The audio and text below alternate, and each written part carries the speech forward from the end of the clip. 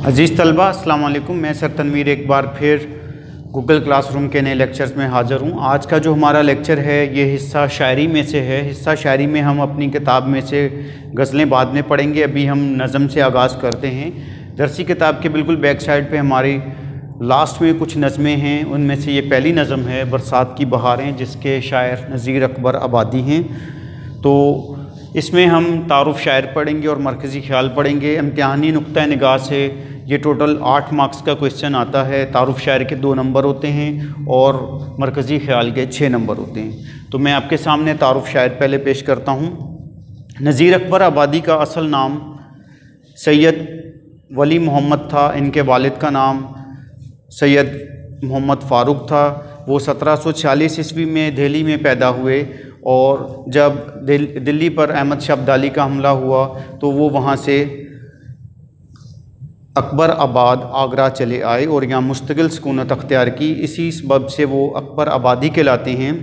उनकी वजह शहरत उनकी नज़में हैं और उन्होंने अपनी नज़मों में ज़िंदगी की हकीकत पेश की है और अवामी मौजूद को मौजू बनाया है।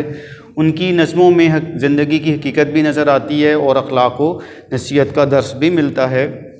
वो अवामी और जमहूरी शायर माने जाते हैं, क्योंकि उन्होंने अपनी शायरी के ज़रिए मुख्तलिफ़ मेलों, त्यौहारों, दिवाली, होली और बरसात वगैरह को ज़्यादा मौजू बनाया है और उनकी मशहूर नज़मों में हिंसनामा बंजारा नामा आदमी नामा और रोटी काबिल ज़िक्र हैं।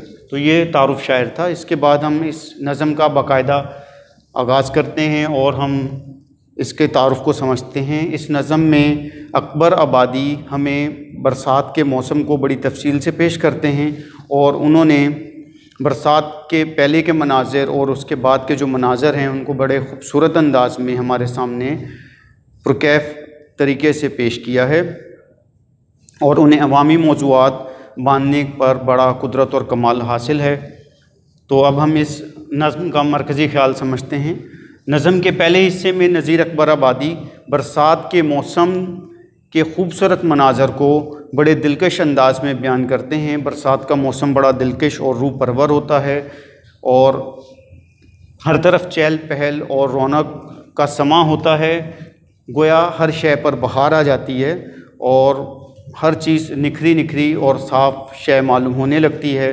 मौसम खुशगवार हो जाता है। फूलों और दरख्तों पर निखारा जाता है। हर तरफ़ ठंडी ठंडी हवाओं से सब्ज़े का लहलहाना, ये सब बरसात की बहारें हैं। इसके साथ साथ हम देखते हैं कि जब बरसात आती है तो हर तरफ़ हर चीज़ नई मालूम होने लगती है और मौसम पर भी और माहौल पर खुशगवारी और हर फर्द पर मुसरत व इनबसात रवां दवा नज़र आती है। नज़म के दूसरे और हिस्से में वो क्या कहते हैं कि जो बारिश के नुकसान हैं, उनको तफसील से बयान करते हैं कि जब बारिश होती है तो इंसान जहाँ खुश होता है, वहाँ परेशान भी हो जाता है। नज़म के इस हिस्से में वो बयान करते हैं कि कच्चे और खस्ता मकानों का बुरा हाल होता है और उनकी छतें टपकने लगती हैं, लोगों को दीवारें गिर जाने का भी धड़का रहता है और जो गरीब तबका है, वो खासा परेशान हो जाता है क्योंकि उनके घर कच्चे होते हैं। इसके साथ ही मौसम के जो असरात हैं, उनसे भी बहुत सारी परेशानियाँ लाक हो जाती हैं। हर तरफ़ कीचड़ फैल जाती है, फिसल जाने का डर रहता है और कई मकाम पर हादसा रूनमा होते रहते हैं। इस नज़म में वो बुनियादी तौर पर इंसान को मुशाह कुदरत की दावत देते हैं। आखिर में हम एक अनीस का ही सॉरी आखिर में हम एक शेर पेश करते हैं। एक शायर ने क्या खूब कहा है कि जब भी मांगो दुआएँ बारिश की, कच्ची बस्तियाँ ध्यान में रखना।